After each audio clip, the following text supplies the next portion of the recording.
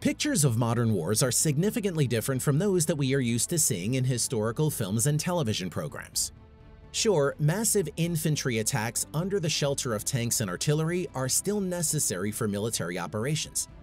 But most modern armies are trying to use as many weapons as possible that can be controlled remotely and cause maximum damage to the enemy without endangering people's lives. One example of such weapons is the Bayraktar TB2 Turkish drones. The Ukrainian military successfully uses them to destroy columns of Russian military equipment, 9 K-37 Buk missile systems, columns with fuel, and much more. More about the frightening Turkish drones? Watch in our video. Bayraktar TB2 is a medium-altitude, highly autonomous, unmanned aerial vehicle belonging to the MALE, Medium-Altitude Long Endurance class. The drones were created thanks to the US embargo on the supply of unmanned vehicles to Turkey, which was introduced due to fears that they could be used to fight the Kurds. Since the Turks were unable to obtain this type of weapon, they focused on creating it themselves. The breakthrough was the project of Selçuk Bayraktar, a master's degree holder from the University of Pennsylvania and the Massachusetts Institute of Technology MIT, as well as an expert in the development of unmanned aerial vehicles. Upon his return to the country, he turned his own auto parts Bayraktar Makina company into a defense company. His work has received national recognition and, after 2020, international recognition. Bayraktar is a relatively young unmanned vehicle. Its first test flight took place in May 2014. It began service with the Turkish army in 2015. In addition to Ukraine, Azerbaijan has Turkish UAVs. Several vehicles are in service in Libya, Qatar, and Morocco. Bayraktar TB2 is designed to operate at a maximum control range of up to 150 kilometers. This is a combat reconnaissance drone, so it can be used both for reconnaissance and for the destruction of specific targets. It is equipped with modular electron-optical as well as infrared cameras, laser rangefinders and target designators, which are necessary for ammunition control and the multifunctional ABMDA Field Array Radar, or AFAR. In addition, a Transportable Electronic Warfare Module TEWM can be installed on the device to neutralize old air defense systems. All equipment have an independent power source.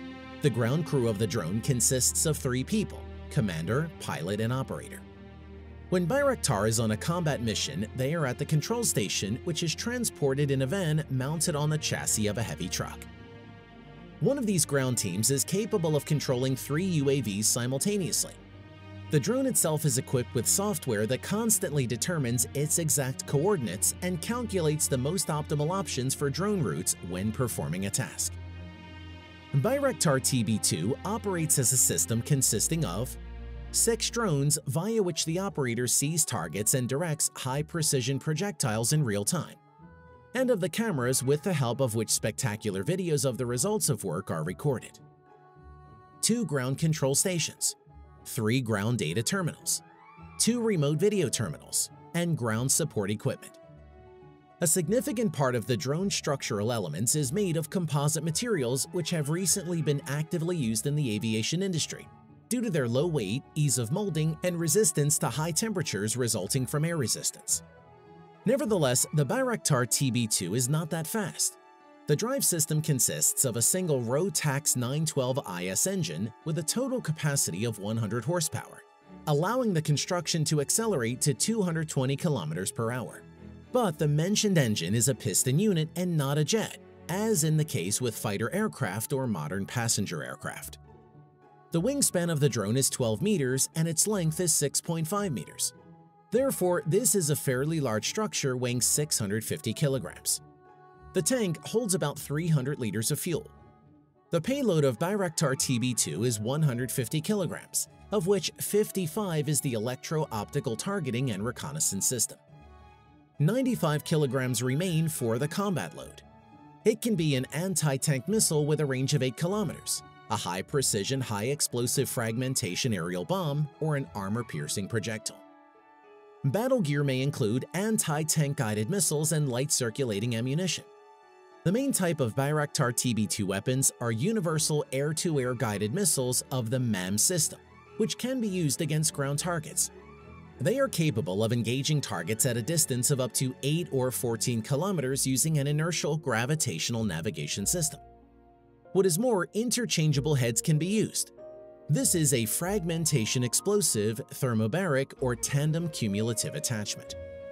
The drone can also be armed with MAM-C missiles with a combat universal part capable of penetrating the tank's 200mm thick steel armor.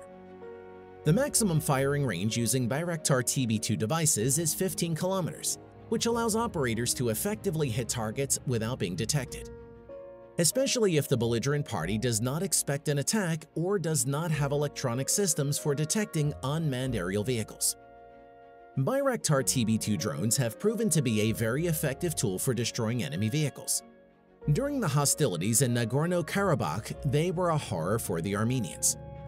On the account of Bayraktars in Karabakh are 88 tanks, 34 armored vehicles, 137 conventional towed howitzers, 17 self-propelled guns, 61 MLRS, 21 anti-aircraft missile systems of air superiority, OSA Strela 10 and Tor M2KM, two S-300 missile systems, six air defense radars, two Army Operational Tactical Missile Systems, Elbrus, and 185 trucks as well as cars.